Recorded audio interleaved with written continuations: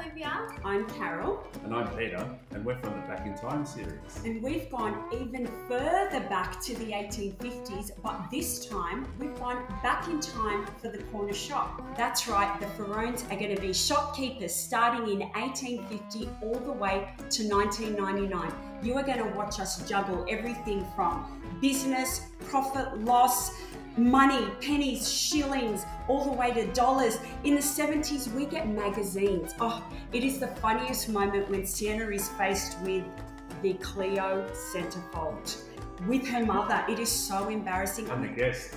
Who can forget the guests? Which one was your favourite, Olivia? Jeff.